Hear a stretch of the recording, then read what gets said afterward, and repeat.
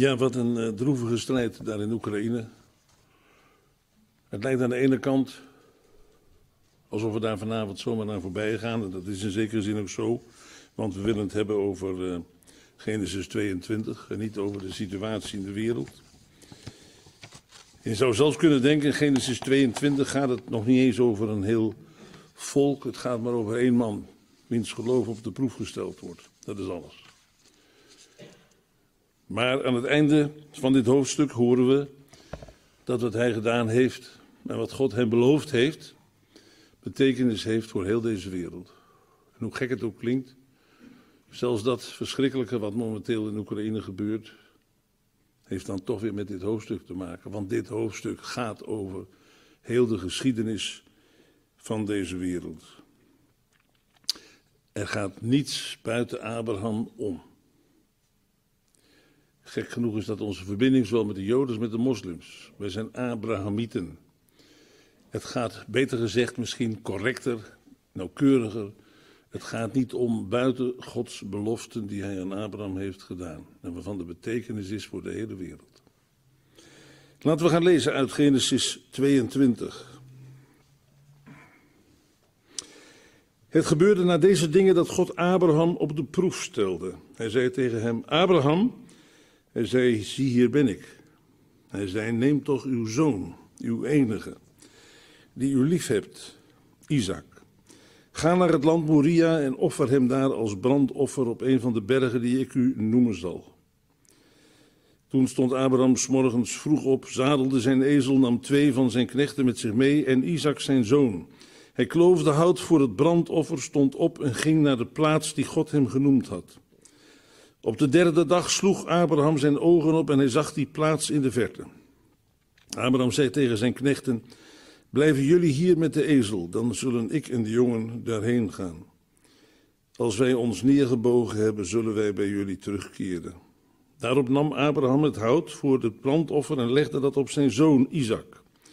Hij zelf nam het vuur en het mes in zijn hand. Zo gingen zij beiden samen. Toen sprak Isaac tot zijn vader Abraham en zei: Mijn vader. Hij zei: Zie, hier ben ik, mijn zoon. Hij zei: Zie, hier is het vuur en het hout, maar waar is het lam voor het brandoffer? Abraham zei: God zal zichzelf voorzien van het lam voor het brandoffer, mijn zoon. Zo gingen zij beiden samen. En ze kwamen op de plaats die God hem genoemd had. Abraham bouwde daar het altaar, schikte het hout erop bond zijn zoon Isaac en legde hem op het altaar, bovenop het hout. Toen strekte Abraham zijn hand uit en nam het mes om zijn zoon te slachten. Dit lijkt me een goed punt om onze lezing even te onderbreken, totdat ik in de bespreking vanzelf hier aan toekom. Laat dit moment maar even mogen rusten. Abraham gaat zijn zoon offeren omdat God het van hem vraagt. Dit is misschien wel een van de meest diepzinnige hoofdstukken, niet alleen in het boek Genesis, maar in het hele Oude Testament en daarmee ook eigenlijk in de hele Bijbel.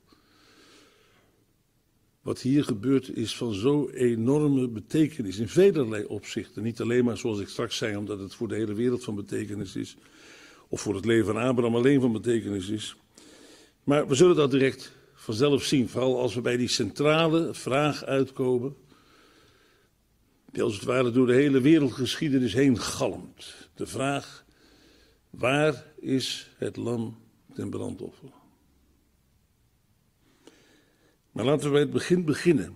Zelfs bij het allereerste regeltje. Het gebeurde nu na deze dingen.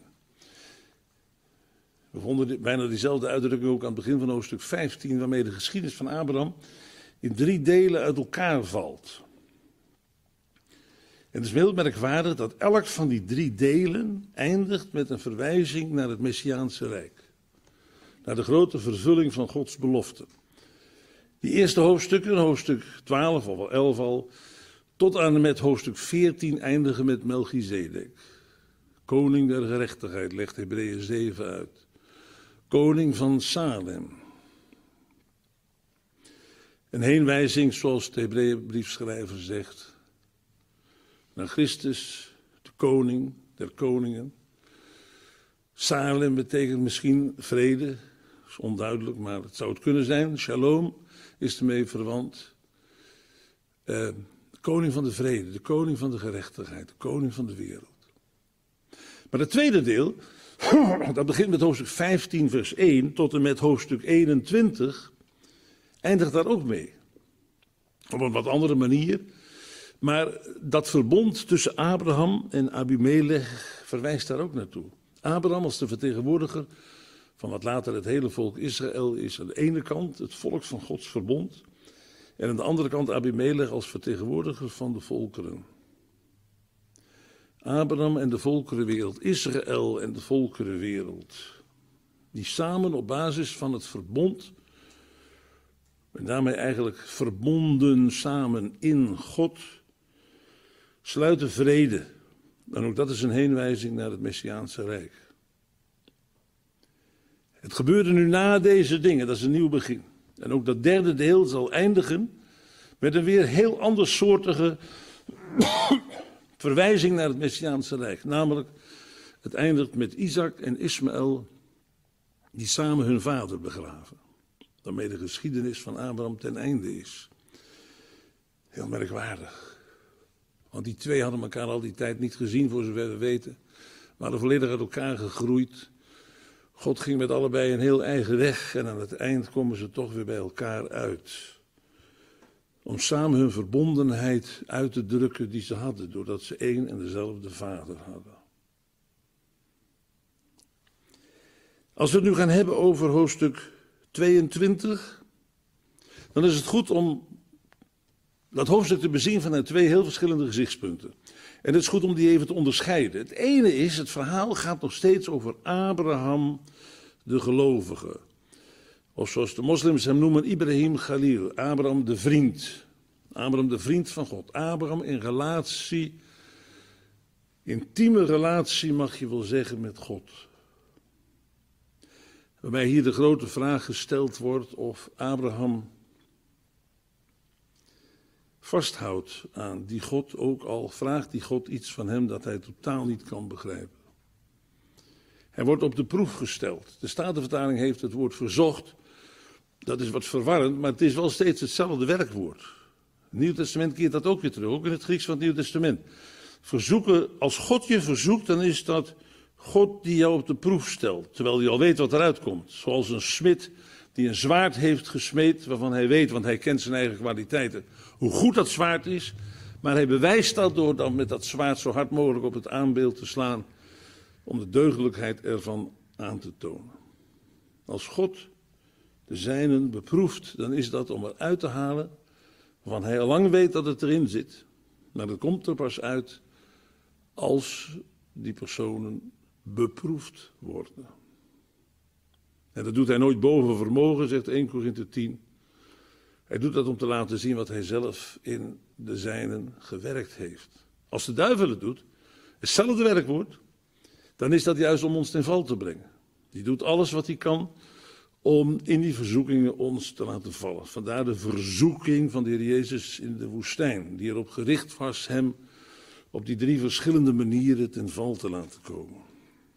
Dus de enige het enige gezichtspunt is Abraham de gelovige, die op de proef gesteld wordt. Zal hij vasthouden aan de gever, nu de gever gegeven heeft wat hij beloofd heeft, namelijk een zoon. En dan zou het kunnen zijn dat Abraham zegt, ik heb nu wat ik heb gevraagd. Ik heb God eigenlijk niet meer zo nodig, want hij heeft al gegeven wat hij beloofd had. Mijn aandacht is nu helemaal gericht op die zoon. Maar wat als God die zoon terugvraagt? In de Joodse traditie is er een stellige overtuiging dat God nooit kon hebben gemeend. Isaac zou nooit geofferd hebben kunnen worden. Maar ik vind het eigenlijk mooier zoals het in Hebreeën 11 staat. En er staat wat anders. Er staat niet, hoe dan ook zou God verhinderen dat dit zou gebeuren. Nee, Abraham geloofde dat God bij machten was Isaac uit de dood terug te brengen. Dat is heel wat anders. Dan zou God het niet verhinderen, maar dan zou hij inderdaad zijn zoon moeten offeren. Maar God zou bij machten zijn die zoon terug te brengen uit de dood. En dat is bijzonder, want er was voor zover we weten nog nooit iemand opgestaan uit de doden tot op dit moment. En dat wordt natuurlijk in Hebreeën 11 toegepast op Christus, die daadwerkelijk geofferd is en ook daadwerkelijk teruggekeerd is uit de dood. En dat is de tweede uh, gezichtshoek van waaruit we dit hoofdstuk moeten bekijken. En dat was in de vorige hoofdstukken niet het geval. Ook in dit opzicht is het een apart gedeelte van Gods woorden, van de geschiedenis van Abraham. Neem, namelijk uh, de vader die zijn zoon offert. We hebben al van alles gelezen over het offer. Het begon al heel vaag. Er, zit een hele ontwikkeling in. In het boek Genesis het begon heel eenvoudig, heel vaag met die uh, rokken van vellen. De meest vage verwijzing naar het feit dat dieren moesten sterven om hun huid af te staan waarmee Adam en Eva zich konden bekleden. Het tweede gaat al duidelijker in de richting van het echte offer. Abel brengt van de eerstelingen van zijn vee en van hun vet. Kain bracht de producten van zijn eigen energie, zijn eigen arbeid. Abel bracht een offer dat in zijn plaats moest sterven, opdat hij voor God kon bestaan. Denk dat je dat best mag zeggen zonder dat we daarmee al te veel daarin inlezen, wat pas later eigenlijk allemaal duidelijk is geworden. Bij Noach gaat het nog weer een stapje verder. Na de zondvloed brengt Noach een offer en nu gaat het niet om een enkele persoon, zoals Abel dat was, maar nu gaat het om deze hele wereld. God gaat de wereld van na de zondvloed aanzien op basis van het offer.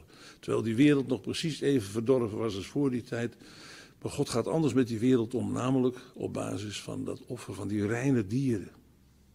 En in die reinheid wordt ook de voortreffelijkheid van het offer al tot uitdrukking gebracht. En God ruikt die lieflijke geur van dat offer Letterlijk zou dat betekenen de rustgevende geur van dat offer. En dat vind je niet bij Abel, dat is elke keer een stukje verdere ontwikkeling. En dat betekent dat God rust vindt in het werk van de Heer Jezus. Om op grond daarvan genade aan deze wereld te bewijzen. Zoals een prachtig lied zegt, hij in wie God zelf kon rusten, is het rustpunt ook voor mij. En dan gaat het nog verder. Abraham offert. En dit heeft te maken met de individuele relatie van de gelovige met zijn God. Daar is niet een offer waardoor je tot God komt, maar het is het offer dat de relatie in stand houdt tussen twee die al bij elkaar horen: God en de gelovige Abraham. Maar hier maken we nog weer een hele stap vooruit. Tot dusver was het elke keer de mens die op een of andere wijze op het idee kwam aan God iets te geven van Hem aan God. Maar hier leren we dat uiteindelijk er maar één offer is dat waarde heeft en dat is een offer dat God zelf geeft. God zelf zal zich een lam ten brandoffer voorzien, mijn zoon. Wat is dat ongelooflijk diep. Ook dat Abraham dat verstaan heeft, dat hij dat heeft mogen zeggen. Waar is het lam ten brandoffer? Ik zei straks, dat is een vraag die de wereldgeschiedenis beheerst. Waar is het offer waardoor God uiteindelijk niet alleen de individuele mens, maar deze wereld in, in vrede en vreugde kan aanzien? En Abraham antwoordt, dat kan alleen als het een offer is dat God zelf geeft. Nou, nu lopen we al op de zaken vooruit, maar dat is om de kern van dit hoofdstuk meteen in het oog te vatten. God spreekt tot hem. Abraham, hij zei: Hier ben ik. Neem toch uw zoon. Abraham kon zeggen: Heere God, ik heb twee zonen, welke bedoelt u? Nee, zegt God: Je enige zoon. Er is maar één die voor mij telt. Terwijl God ook met Ismaël grote plannen heeft. Dat hebben we gezien in hoofdstuk 16 en hoofdstuk 21. Eh, maar als het erop aankomt, is er maar één. Want in het Nieuw Testament heet de enige geboren zoon, maar je kunt daar ook net zo goed vertalen, de enige zoon. Er is er uiteindelijk maar één. Je moet in het Nieuw Testament onderscheid maken tussen de eerstgeboren zoon, dat is hij als mens. En dan is hij als mens verbonden met vele andere mensen. Hij is toch eerstgeboren onder vele broeders, zegt Romeinen 8. Aan de andere kant de enige geboren zoon. Want hij is uniek. Het Frans zegt dat ook, le fils uniek, de unieke zoon. Waarvan er maar één is. En dan gaat het om zijn goddelijkheid. Hij is God de zoon. De zoon van God op een wijze zoals wij dat nooit zijn. Wij blijven schepselen. Hij is God de zoon. Neem toch uw zoon, uw enige. En dan komt er voor het eerst een werkwoord in de Bijbel voor dat we nog nergens zijn tegengekomen. Die u lief hebt. De eerste keer dat in de Bijbel over liefde wordt gesproken is niet bij Adam en Eva. Hoe enthousiast Eva ook was, Adam ook was toen hij uit de narcose bijkwam en daar op de rand van zijn bed Eva zag zitten. Geweldig. Maar hier is de eerste keer. Want denk erom, de liefde tussen de vader en de zoon is van alle eeuwigheid. De liefde tussen de bruidegom en de bruid is ingebed in de tijd. Want daarvoor moet er een volk van God komen. Eh, waar die liefde tussen man en vrouw een afbeelding van is, God en zijn volk. Maar deze liefde is ouder. Want deze liefde is van eeuwigheid. In Johannes Evangelie lezen we zeven keer, als ik me niet vergis. De vader heeft de zoon lief. De vader heeft de zoon lief. De heer Jezus zegt dat elke keer. De vader heeft de zoon lief. Het is zo belangrijk in dit hoofdstuk. Het is niet een vader die zijn zoon moet offeren, dat is zo. Maar het is de zoon van zijn liefde. Colosse 1 vers 13 zegt het zo mooi. We zijn overgebracht in het koninkrijk van de zoon van Gods liefde. Dat betekent goed, dat betekent de geliefde zoon. Zo zeggen sommige vertalingen dat ook. Maar ik vind het zo mooi als je dat zo letterlijk weergeeft. De zoon van zijn liefde. Isaac. Als je nou nog mocht twijfelen wie ik bedoel, Abraham, ik bedoel Isaac. Ga naar het land Moria en offer hem daar als brandoffer op een van de bergen die ik u noemen zal. Moria komt maar twee keer voor in de Bijbel. De tweede keer is in Chronieken als de plaats waar de tempel van Salomo is gekomen. Alles hangt met alles samen. De tempel van Salomo kon op geen andere plaats komen dan op de berg Moria. Hier is het land Moria en een van die bergen, maar die berg is de berg Moria. Bij uitstek Moria. Daar waar Abraham zijn zoon geofferd heeft, daar verschijnt de tempel. Ik ben een paar keer in mijn leven in de rotskoepel geweest, op de Tempelberg. Tegenwoordig mag dat niet meer, maar de laatste keer langs vele, vele wegen met mijn oudste zoon hebben we ons toch een toegang verschaft. Dat is gelukkig gelukt, want ik wilde dat graag laten zien. Deze rots, die heeft Abraham zijn zoon geofferd. Hij heeft hem geofferd. Hij is wel niet gestorven, maar hij heeft hem werkelijk afgestaan. Maar dit is ook de plaats of het exact dezelfde plaats was, doet er niet toe. Maar dit is ook de plaats waar later het brandofferaltaar stond. Waar elke ochtend en elke avond ook een brandoffer werd gebracht. En dat ging door met een korte onderbreking in de Babylonische ballingschap. Dat ging door tot in de dagen van de Heer Jezus. En hij was het ware offer. En toen hadden deze offers afgedaan is een rechtstreeks lijn dus ook van Genesis 22 tot aan het offer van de Heer Jezus. Daar vlakbij die berg. Op de heuvel Golgotha. Toen stond Abraham op alsof het de gewoonste zaak van de wereld was. Hij discussieerde niet. Hij zei niet, ja maar Heere God, hoe moet dat nu, hoe kan dat nou? Hij stond vroeg op. Want hoe vroeger hij opstond, des te minder zou de verzoeking zijn om toch nog eens een keer om te draaien in bed en toch maar uit te stellen en uit te stellen en uit te stellen. In de hoop dat het tot afstel zou komen. Nee, hij staat vroeg op. De zadel zijn ezel neemt twee van zijn knechten mee en Isaac zijn zoon. Hij neemt hout mee en hij gaat naar die plaats. Het was niet direct om de hoek. Hij kon drie volle dagen nadenken over de vraag: wil ik dit wel? Kan ik dit? Je kunt je nauwelijks een mens in de Bijbel voorstellen die zo innerlijk gestreden moet hebben. Dat kan niet anders. Als je maar één zoon hebt, en dat is de zoon van de belofte, de God, die God zelf gegeven heeft. Ik bedoel, het staat er wel zo makkelijk in Hebreeën 11, maar dat kan toch alleen met innerlijke strijd gepaard gegaan zijn, dat je die ene zoon nou zou moeten offeren. Je begrijpt er niets van. Je hart stormt, je roept naar de hemel. Het staat er allemaal niet. Maar een goede vader kan toch moeilijk anders dan daarmee geworsteld hebben. En dan duurde het ook nog drie volle dagen. En wat bijzonder is dat? De derde dag. De derde dag. De derde dag is altijd bijzonder in de Bijbel. De derde scheppingsdag was de eerste dag waarop leven uit de levenloze toestand van deze aarde tevoorschijn kwam. Het eerste leven verscheen. Het was de dag van de opstanding van de Heer Jezus. En het is in Hosea 6 de derde dag van de opstanding van Israël. De derde dag is de dag van het leven. En op die dag moest Isaac sterven. Op de derde dag zag, sloeg hij zijn ogen op en zag die plaats. Ik veronderstel dat de Heere God in zijn hart hem de innerlijke bevestiging heeft gegeven. Dat is die berg. Want hij wist het niet, hij was daar nooit geweest. God stuurde hem daar naartoe. Hij moet dus ook innerlijk de bevestiging hebben gehad. Dat is de plaats waar God van gesproken heeft. Abraham laat die twee knechten achter en zegt: Mijn zoon en ik, wij gaan naar boven toe.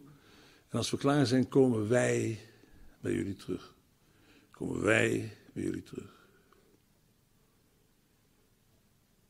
Ik vind het altijd moeilijk om hierover te spreken. Ik denk dat de Heilige Geest ontroerd was toen hij dit ingegeven heeft. Dat zie ik alleen al uit die twee zinnetjes. Zo gingen die beiden tezamen. Zo gingen die beiden tezamen. We kijken wel eens te eenzijdig naar het kruis vanuit het gezichtshoek van Matthäus en Marcus, waar we twee keer lezen dat de Heer Jezus zegt: Mijn God, mijn God, waarom hebt ge mij verlaten? En die kant is belangrijk. Een mens die tegen God zegt, u hebt mij verlaten. Maar er is ook een andere kant en die vinden we in het Johannes-evangelie. Waar de Heer Jezus in Johannes 16 zegt, als hij op weg gaat naar het kruis, ik ben niet alleen, want de Vader gaat met mij. Daarom moeten predikers niet zeggen, de Heer Jezus werd op, op het kruis door zijn Vader verlaten. Dat is slordigheid. Zoals ontzettend vaak slordig over de drie eenigheid wordt gesproken. Mens Jezus Christus werd door een heilig en rechtvaardig God, die draaide zijn rug hem toe, laat ik het zo zeggen. Die keerde hem de rug toe toen de Heer Jezus tot zonde gemaakt was. Maar er is ook die andere kant.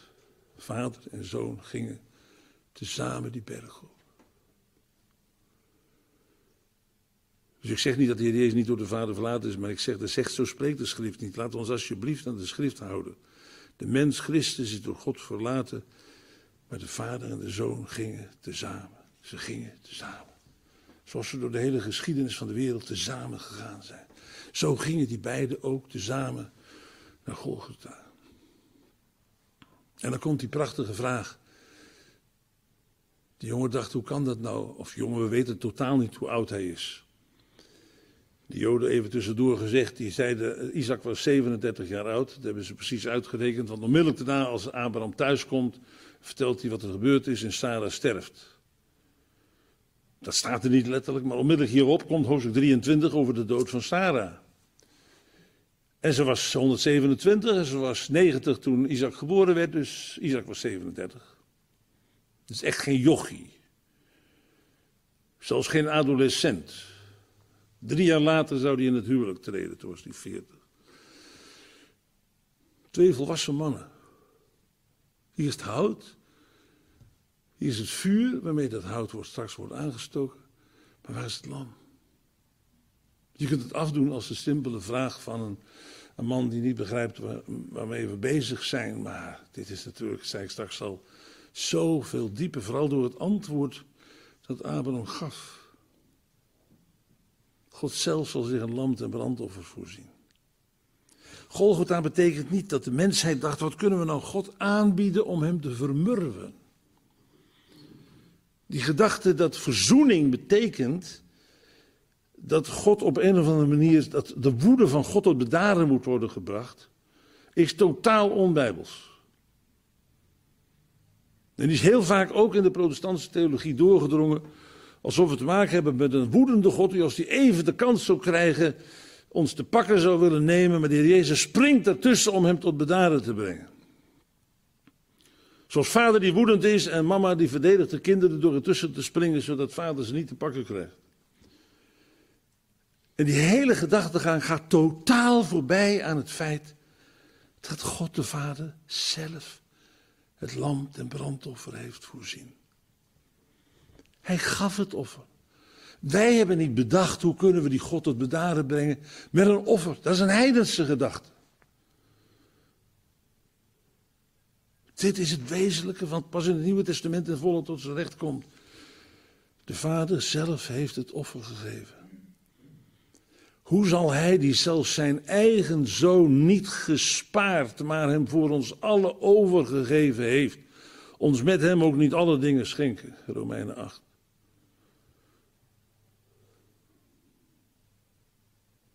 En let er maar op, je vindt het ook terug in de oude schrijvers, ook in het Lutheranisme en Calvinisme, over de woedende God die tot bedaren moet worden gebracht. Dat gaat volkomen tegen Genesis 22 in.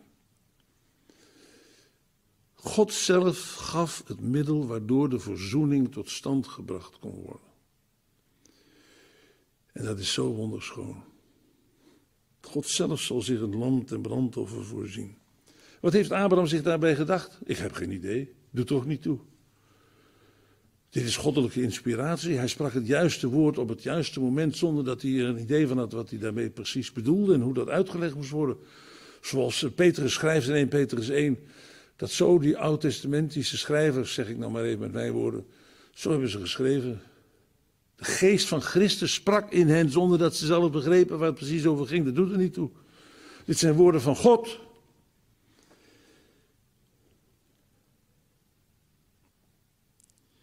God zelf zal zich voorzien van het lam voor het brandoffer. Zo gingen zij beiden samen. Ze kwamen op de plaats die God hem genoemd had. Abraham bouwde daar het altaar, schikt het hout erop, bond zijn zoon Isaac. Dat binden is in de Joodse traditie heel sterk benadrukt. De Joden spreken van de Akeda van Isaac. Akeda is een Hebreeuws woord dat afgeleid is van dit werkwoord voor binden. De binding van Isaac. En daarmee wordt ook aangegeven dat, dat Isaac's rol eigenlijk hier even terzijde wordt gesteld. Als, al was hij 37 jaar, of voor mijn part 27, dat doet er verder niet toe, maar in ieder geval geen jochie.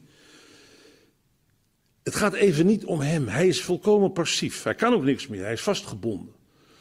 Het gaat tussen God en Abraham.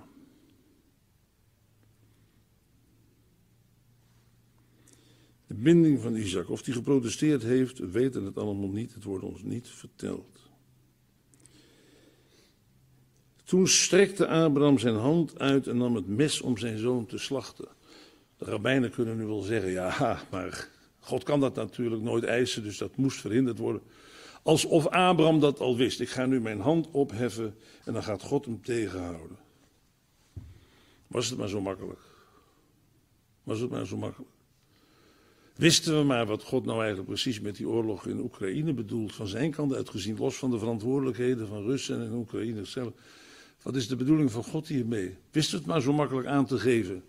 Sommige mensen weten dat corona was nog maar net uitgebroken. We kregen al verklaringen van Calvinistische tot charismatische zijde. Iedereen wist hoe het in elkaar zat. Die stemmen zijn voorzichtig gedempt. Want de zaken zijn veel ingewikkelder dan dat wij dat eventjes kunnen uitmeten. Ik neem het serieus.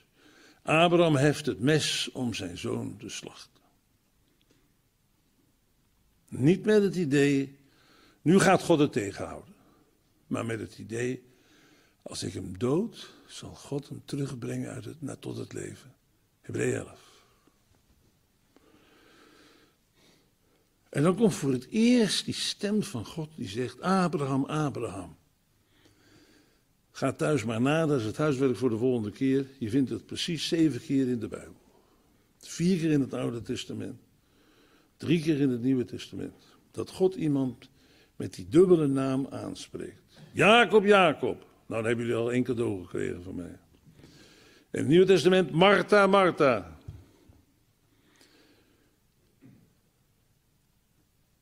Moet thema voor een preek. Dan zet God je wel eventjes helemaal stil. Als hij je naam twee keer gebruikt. Hou dan maar even goed op en let maar even goed op. Hij is, hij is, proberen, hij is aan het proberen iets duidelijk te maken wat van enorm gewicht is. Abraham, Abraham. Dat is de engel van de Heer. Dat is ook belangrijk. Het was de tweede keer dat we over de engel van de Heer horen. De eerste keer was bij Hagar, notabene. Die engel van de Heer, daar kun je al een hele toespraak over vullen. Want het bijzondere van die engel is, hij is niet zomaar een engel. Het is een engel met een hoofdletter, dat is, dat is correct. Er staan helemaal geen hoofdletters in het maar het is goed om het zo weer te geven. Want het is een bijzondere engel. Het is niet een engel van de Heer, daar heb je er miljarden van. Maar het is de engel van de Heer. En wat is het bijzondere van de engel van de Heer? Dat hij over God spreekt als derde persoon. En dat hij ook spreekt in de ik-vorm. Door elkaar heen. Gaat maar na weer in Genesis 16. Hier is het ook zo. En het is elke keer zo. In Exodus 2, eh, de 3, met de brandende braambos is het weer de engel des Heren. Hoe kan dat? Daar kan het Jodendom nooit een antwoord op geven. Een engel des Heren die in de eerste persoon spreekt, ik, en dan gaat het duidelijk over God. En in de derde persoon, God heeft dit en God heeft zus. Het antwoord vind je namelijk pas in Johannes 1. Het woord was bij God en het woord was God. De Logos spreekt namens God. Ik durf rustig te zeggen dat overal waar God zich openbaart, ook al in het Oude Testament, daar heb je te maken met God de Zoon. Mooi bewijs in Johannes 12 als het gaat over God die spreekt tot de profeet Jezaja in Jezaja 6. En dan zegt Johannes in Johannes 12, dat was de stem van Christus. Dat is een ander voorbeeld hoe slordig wij met die drie-eenigheid over, eh, omgaan. Vraag het maar aan de gemiddelde protestant, als hij een beetje van de Bijbel weet. God in het Oude Testament, is dat de Vader, de Zoon of de Heilige Geest? De Vader natuurlijk. God de Vader, die blijkt dan hoogst in het Nieuwe Testament een zoon te hebben. Ik zeg ook niet dat het de zoon is, ik zeg het is de drie-ene God. Het is de drie-ene God. Wie is de schepper? Niet zoals Nicea zegt, God de Vader, schepper van hemel en aarde. De drie-ene God. Alles is uit de Vader, alles is door de Zoon en in de kracht van de Heilige Geest. Altijd alle drie samen. En dat gemak waarmee men denkt, dit is de Vader. Nee, waar God zich openbaart, is Christus de Logos. En soms komt het prachtig tot uitdrukking, zoals hier in de Engel des Heren die in de ik-vorm spreekt, want hij is God. En hij spreekt namens God. Want het woord was bij God. De Logos spreekt namens God. En hij kan dat perfect doen omdat hij God is. Ga daar maar over nadenken. Want dit is zo diep. Dat kan geen rabbijn je ooit vertellen, want het is pas het Nieuwe Testament dat dat duidelijk wordt. Weet je waarom dat zo bijzonder is? We zien Christus in dit hoofdstuk minstens drie keer. Je ziet hem in de persoon van Isaac, die geofferd moet worden. Je hoort hem in de engel des Heren, die spreekt. En je ziet hem in die ram die vastgebonden zat in de struiken.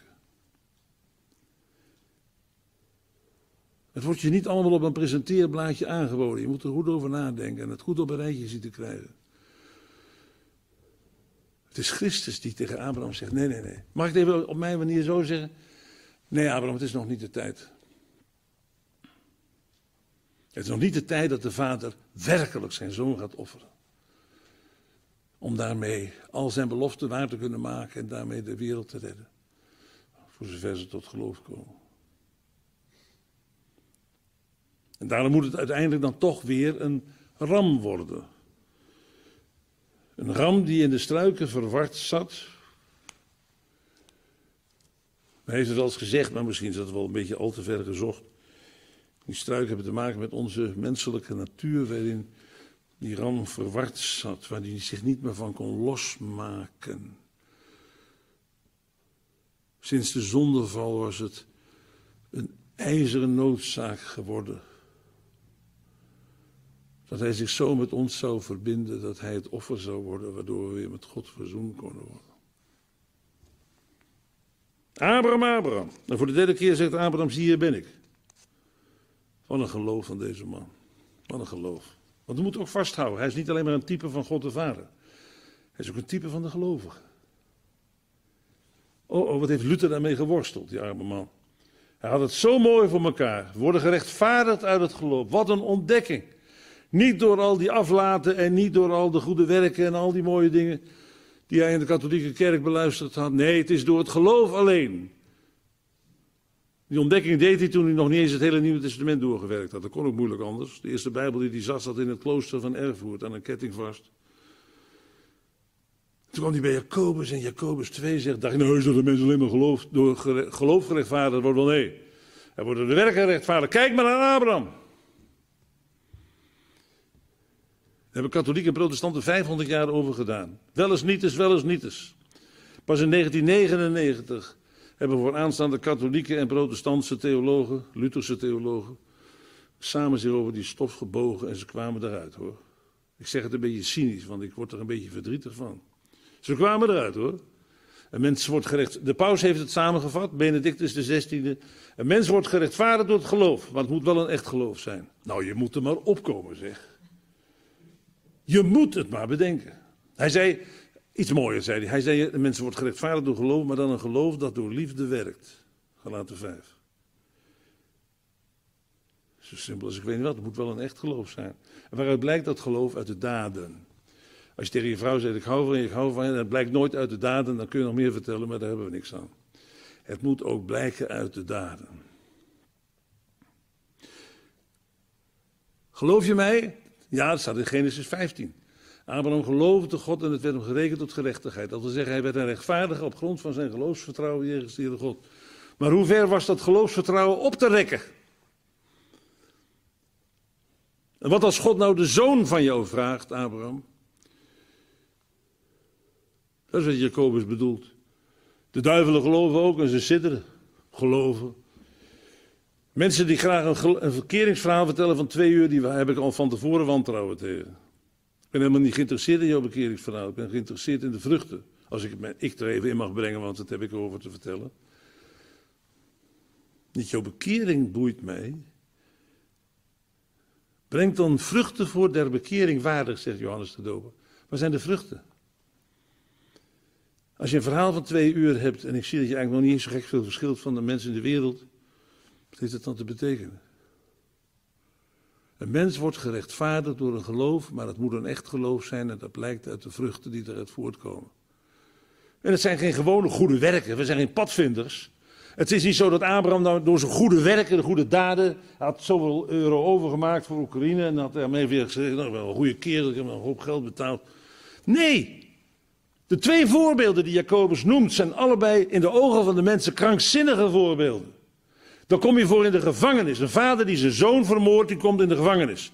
En Ragab, een vrouw die onder oorlogsomstandigheden haar eigen land verraadt, die komt ook in de gevangenis als je niet gedood wordt ervoor. Kindermoord en landverraad. En zegt Jacobus, dat zijn nou de voorbeelden van de goede werken van het geloof. Geen padvindersdaden, het zijn de meest krankzinnige voorbeelden die ik kan voorstellen. Nou weet ik dat je echt in me gelooft, Abraham. Dat je me vertrouwt. Want je hebt je zoon voor mij geofferd.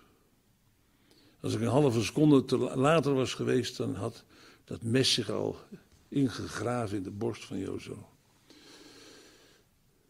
Nou weet ik dat je gelovige bent.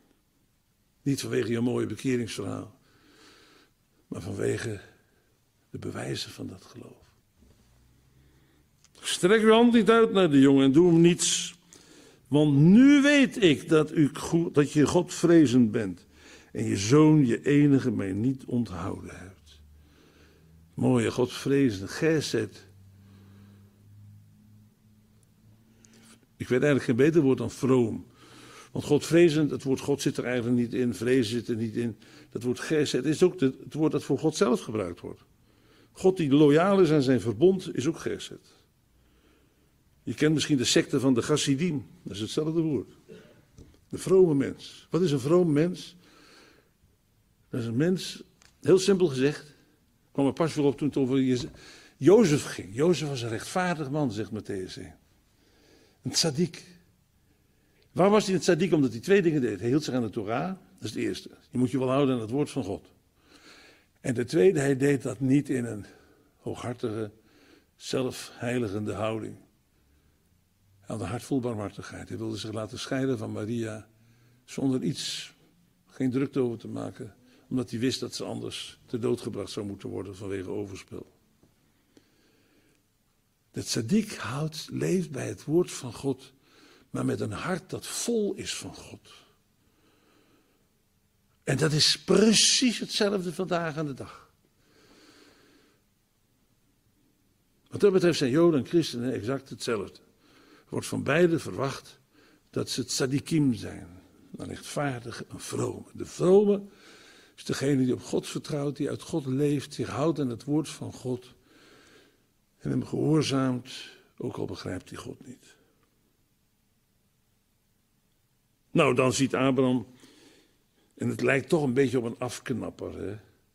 Het werd zo spannend, hij zou zijn zoon offeren en dan moet het dan toch weer vervangen worden door een ram. Maar het kon nog niet anders, het was nog niet de tijd.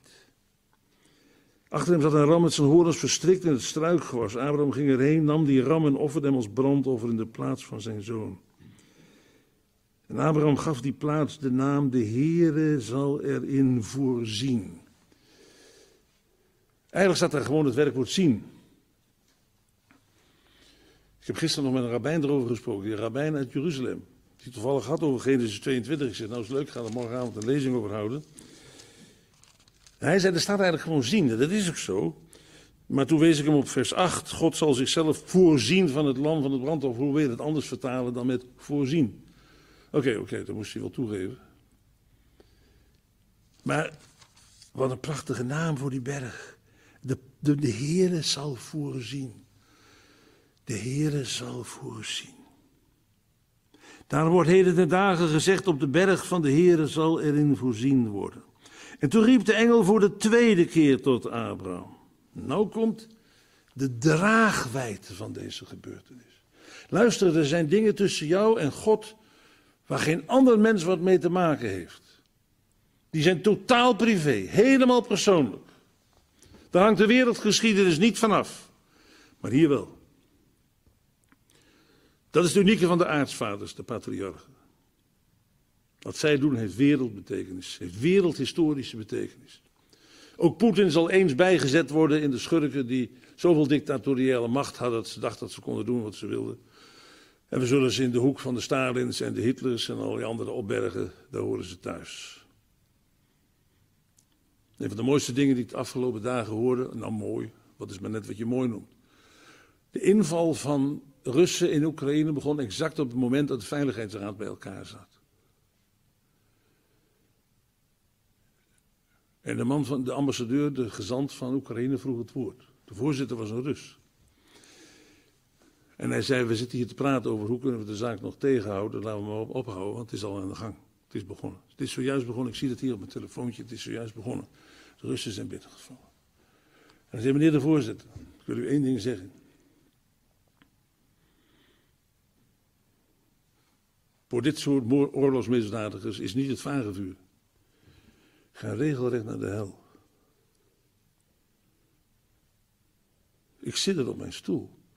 Hij zei het ook zeer rustig in het Engels, zeer rustig, zeer gedragen, met een enorme ernst. Vandaag zien we in Poetin dat wat één man doet, wereldbetekenis kan hebben. Alleen weet de hele wereld het ook meteen. Zoals in New York weten ze door hun mobieltjes onmiddellijk. Hier weet niemand van. Hier zijn twee mannen op een berg. De knechten zijn er niet, die zijn beneden met de ezel. Twee mannen. Maar er is een derde die zegt: Ik heb het gezien. En ik ga jullie uitleggen wat de betekenis hiervan is. Want wat jullie gedaan hebben, wat hier gebeurd is, is niet een onderdeel van jullie persoonlijke geloofsgeschiedenis. Zoals het met ons vaak het geval is. Nee, hij zegt: Ik zweer bij mijzelf, spreekt de Heer. Waarom zou de Heer de God moeten zweren? Hij kan ook alleen maar bij zichzelf zweren, want er is geen hogere macht waarbij hij zou kunnen zweren. Maar je zou zeggen: God heeft dat toch niet nodig? We hebben het in hoofdstuk 17 ook gezien dat God zweert. Maar God doet dat als het om het allerbelangrijkste gaat wat met een eed onderstreept moet worden. Ik zweer bij mezelf, omdat u dit gedaan hebt en mij uw zoon, uw enige, niet onthouden hebt, zal ik u zeker rijkelijk zegenen en uw nageslacht zeer talrijk maken als de sterren aan de hemel en als het zand dat aan de oever van de zee is. Uw nageslacht zal de poort van zijn vijanden in bezit hebben. Hier wordt in één vers de hele toekomst van Israël geschilderd. En Israël, een geschiedenis die tot op de dag van vandaag nog niet volledig in vervulling is gegaan. Maar het staat hier en dus gebeurt het. Ik weet niet hoe de Oekraïne afloopt. Wist ik het maar. En al die wijze mensen die op televisie worden ondervraagd van hoe gaat het nou verder, weten we niet. Maar ik weet wel hoe het met Israël afloopt. Want daar heeft de Heere God uitspraken over gedaan. En niet over hoe het in Oekraïne afloopt, dat weet ik niet.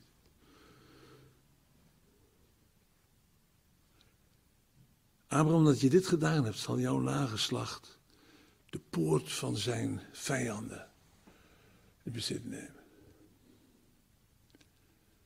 heb gisteren naar die lezing geluisterd van mijn vriend, die rabbijn uit Jeruzalem. Ik herinnerde aan, hem aan onze allereerste ontmoeting, vele jaren geleden. Toen zei ik tegen hem, we hebben drie dingen gemeenschappelijk. We dienen dezelfde God, de God van de Bijbel. We hebben zijn geopenbaarde woord lief. Onze liefde voor de Bijbel. Ik heb maar niet verteld dat onze Bijbel iets dikker was dan de zijne. En ten derde, we kijken allebei uit naar de Messias. Ik keek me even wantrouwig aan. Ik zei gisteren, weet je het nog? En dan begint hij weer over Jezus. Ik zeg, nee, luister wat ik zeg. We kijken allebei uit naar dezelfde Messias. Die zal neerdalen in Jeruzalem en daar zal zitten op de troon van zijn vader David. En die een rijk van vrede en gerechtigheid zal stichten, niet alleen maar in Israël, maar over de hele deze wereld. Dan zal geen vijand Israël meer belaten. Is wat hier staat. Het staat nog op vele andere plaatsen in de Bijbel ook, maar hier begint het. Hier begint het.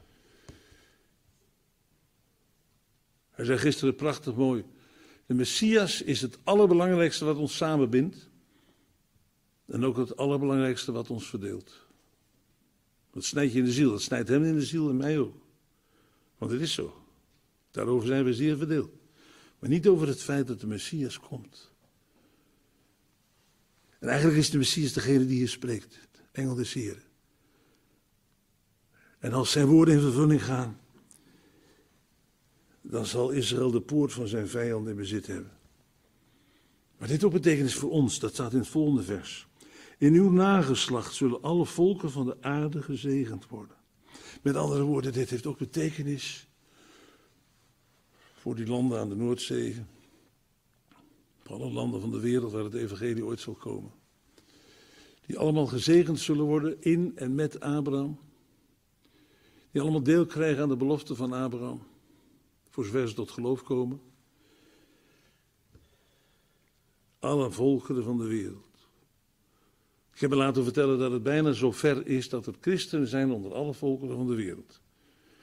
Het is nog niet helemaal zo ver, maar het is nog nooit in de geschiedenis gebeurd. Wat nu gebeurt is bijna zo ver dat er geen volk op aarde meer is waar niet mensen zijn die de God van Abraham dienen.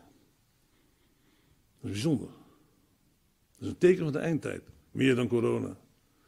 Misschien zelfs wel meer dan de klimaatproblematiek. Zelfs meer dan Poetin. Want oorlogsmisdadigers hebben we altijd gehad. Maar dit. Bijna onder alle volken van de wereld. Heb je ze gezien, de mensen die op het grote plein in uh, Kiev op de grond knielden? In de eerste dag was dat. Een kring van mensen die geknield lagen op de grond om samen God aan te roepen. Heb je gezien die grote schade van Oekraïners? Die baden tot God, zongen tot God eer. Niet hier in Waddingsveen, dat zag ik trouwens ook op de televisie. Hier in Waddingsveen notabene, maar dat was in Oekraïne zelf. Want ze zijn er overal. Wat er ook gebeurt, wat de dwazen in deze wereld ook met hen mogen voorhebben. Op grond van dit vers weten we dat ze onder alle volkeren zijn die gezegend zullen worden. Door de God van Abraham. Want hij heeft het beloofd. Daarna keerde Abraham terug naar zijn knechten. Mijn goede vriend van gisteren, de rabbijn uit Jeruzalem, zei: Willem, wat is het meest ontstellende tekst in heel Genesis 22? Ik voel me altijd bij hem een beetje een klein jongetje, maar hij weet weer niks van het Nieuwe Testament, dus het uh, houdt elkaar een beetje in even. Ik zeg het, vertel het eens. Hij zegt dit vers. Daarna keerde Abraham terug. Waarom staat er niet Abraham en Isaac? Waar is Isaac? Ze stonden op en gingen samen naar Berseba. Abraham met zijn knechten. Waar is Isaac? En Abraham bleef in Berseba wonen. We horen niets over Isaac. Tot op welk moment? Wie in de zaal? Op welk moment horen we pas weer van Isaac? Als hij voor het eerst zijn vrouw aanschouwt. Wil je dat zeggen? Al oh, wat jammer dat ik nou net te vroeg was. Toen hij Rebecca zag. Hij liep te treuren, dat zegt de nieuwe vertaling, NBV 21. Eh, Hij liep te treuren in het veld. Niet te bidden, niet te pijnzen. Zijn hele leven.